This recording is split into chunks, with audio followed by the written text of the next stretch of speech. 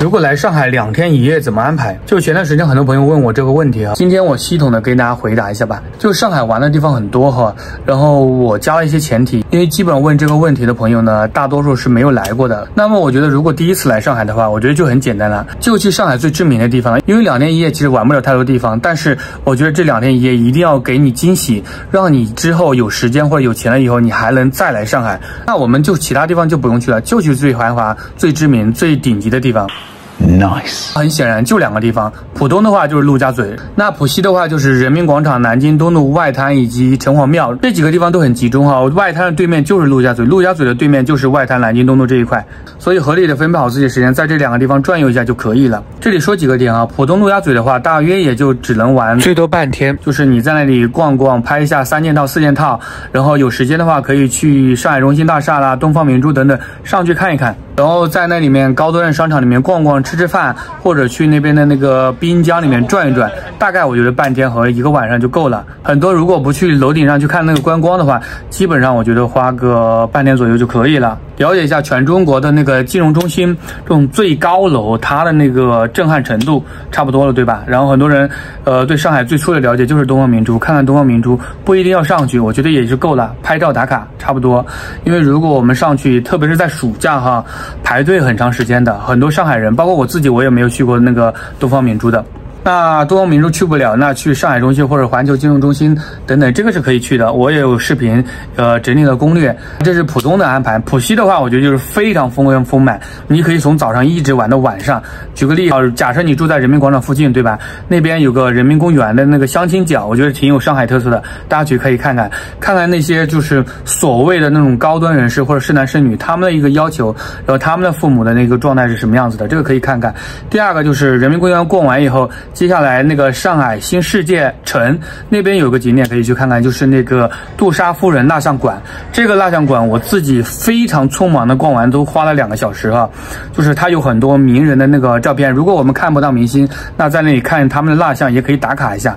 这个看自己个人的程度，反正我觉得小孩和一些中老年人蛮喜欢的。比如我妈妈，她去那边就很开心，她可以跟很多所谓的明星蜡像拍照。如果你不去的话，那你绕着南京东路去看一。像那个南京东路的那种热闹氛围，还有那边那个有那种相对城市古老建筑的，或者电视里面看到那种状态的建筑，我觉得是可以看看的。然后南京东路那条街很直行，一直可以通到那个外滩嘛。这条街的话，基本上都是步行道，所以还是比较舒服。比较惬意的，南京东路这两边也有蛮多小店铺啊，或者吃的什么东西的。你慢慢逛，我估计你也要花两个小时左右吧。然后有的人可能还会去商场里面逛一逛啊，等等，买点东西等等，两三个小时左右。那逛完差不多对吧？正好到了外滩那边，就在外滩那个看万国建筑群，甚至你可以看对面陆家嘴的夜景，这个也是不错的。那另外我们前面提到的城隍庙，其实也是在那个南京东路外滩附近，可能大。概一公里左右吧，你步行大概十到二十分钟左右，也，也就能到了城隍庙。就是有上海很多的小吃，然后有灯会什么东西的，过年反正特别特别热闹，平常应该没有那么挤。然后很多人吐槽那边的东西不是特别地道，或者价格不是特别贵，我觉得可以尝一尝的，因为毕竟我们不会在那边大吃大喝吧。但是那边会有上海这边小吃的一种集合，我觉得偶尔边走边逛吃一吃，也花不了特别特别多的钱，所以可以试试吧。上海其他地方是你特地走到那边花时间花精力也是蛮多的，对吧？就是这一块，我觉得是可以花完全一整天的，就是浦西这一块。然后前面我们也讲了嘛，就是呃，浦东浦西其实它是离得很近，它是有不同的交通通路的。你可以坐地铁，坐二号线地铁，它有陆家嘴站，也有南京东路站，所以地铁也是非常通达的。呃，那有些人他可能想要领略一下那个黄浦江畔的这个风景，大家有两种方式，一个是坐轮渡，轮渡的话只有两块钱。大概能感受一下这种感觉吧。那稍微愿意花钱的，他可以做那种游轮观光。